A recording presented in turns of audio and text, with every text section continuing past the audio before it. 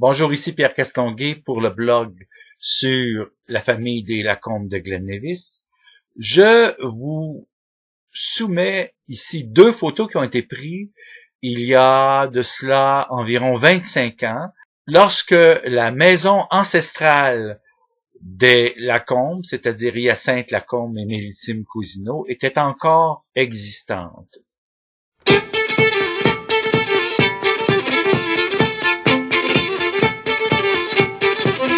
Quand le mari s'est noyé, sa femme giguait au bord de l'eau. Quand le mari s'est noyé, chez Pierre il faisait chaud. Quand le mari s'est noyé, il était avec le gros Louis. Quand la barge a chaviré, gros Louis s'est échappé. À la gigueuse, il a dit, viens de se noyer ton mari. Elle a dit, qu'est-ce que tu dis? Moi je danse toute la nuit. Lui a dit, ma chérie, c'est avec moi que tu vas danser par le jupon. Il l'a prise et s'est mise à tourner. Toute la nuit on a tourné, ils étaient tous deux enlacés, ainsi jusqu'au petit matin dans les trois magasins. Donc Pierre a dit à Gros Louis, je crois que c'est assez tourné, lâche la femme de ton ami, vois qu'elle est fatiguée. Louis a fini son pas, il s'est arrêté près de la porte, a desserré ses deux bras, est tombé, est tombé, est tombé, une morte.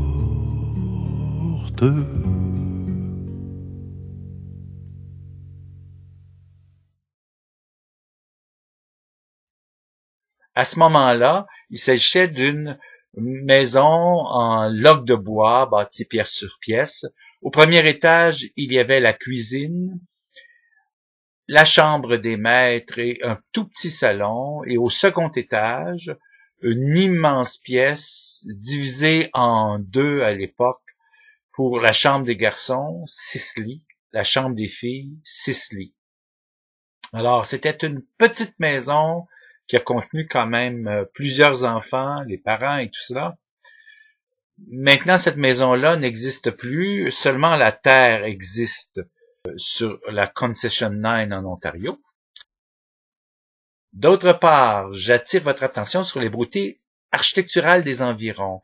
Par exemple, la United St. Andrews Church à la concession 9 alors, avec le cimetière qui contient notamment le tombeau du bon docteur Baker, qui était le médecin de famille des Lacombe.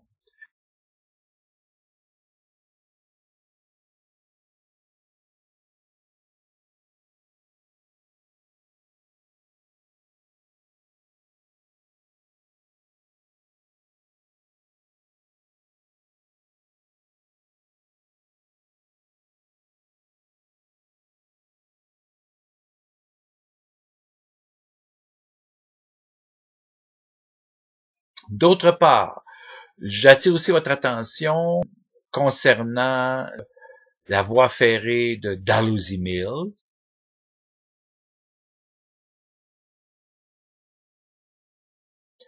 Et au Québec, euh, le chemin qui continue, c'est-à-dire la côte Saint-Georges, avec l'église presbytérienne de la côte Saint-Georges,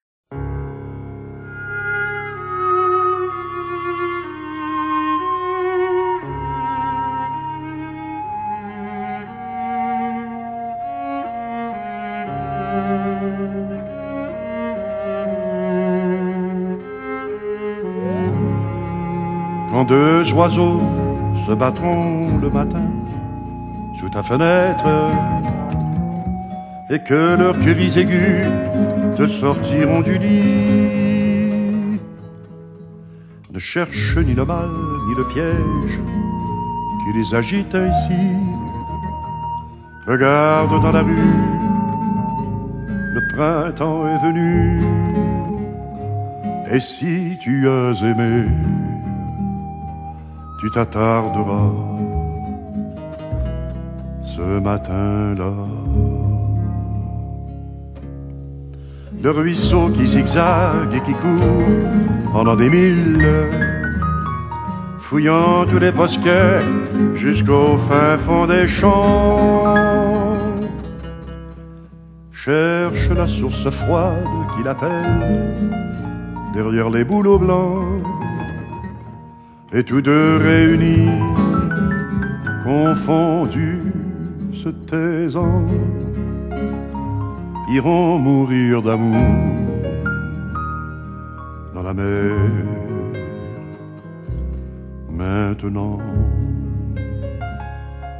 quand tu dis que tu m'aimes et que tu danses au village avec tous les garçons qui ont cheveux bouclés, mens effrontément, alors moi demain, je m'en irai plus loin que ce pays,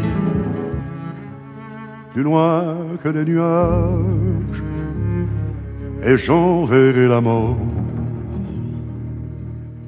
te tuer, cher visage. Regarde dans la rue, le printemps est venu, et si tu as aimé, tu t'attarderas ce matin-là. Et la petite école du village aussi de la côte Saint-Georges.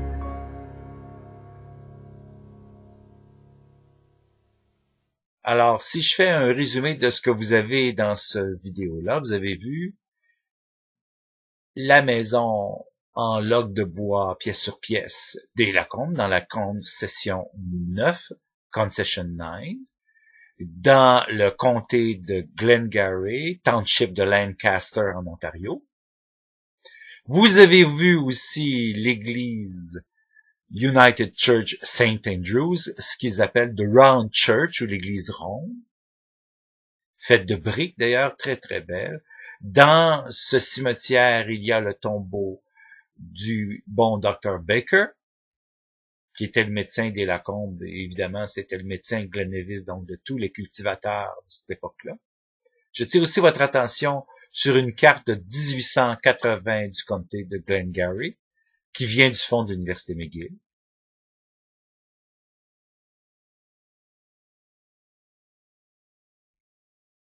Et finalement, j'ai attiré votre attention sur Dalhousie Mills, sur l'église presbytérienne de la côte Saint-Georges et finalement sur l'école de rang de la côte Saint-Georges qui est un des vestiges de l'ensemble des écoles de rang qui existaient au Québec et dans le comté de Glengarry en Ontario.